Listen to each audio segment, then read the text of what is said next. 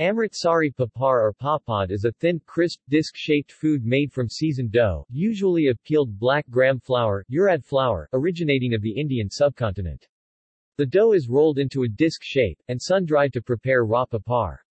Flours from other sources such as lentils, chickpeas, rice, tapioca or potato, can be used, but typical Amritsari papar are made from urad dal, black pepper, and sometimes pomegranate.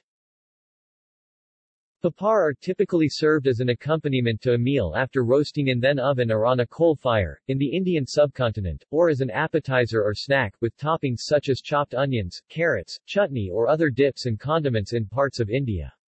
Papar is a low-calorie value food but has a high sodium content.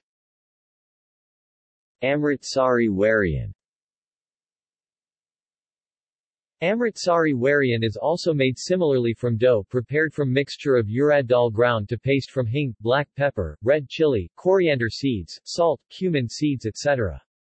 Paste is poured on sheets and spread for sun drying in half-round 5 cm balls.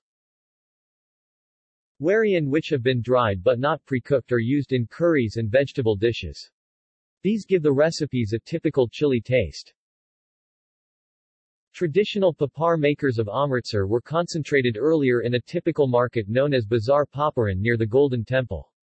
After the implementation of Galiara, a beautification project around the Golden Temple surroundings, these papar makers are spread out in the surrounding area, but their products are well received by travelers, and are exported.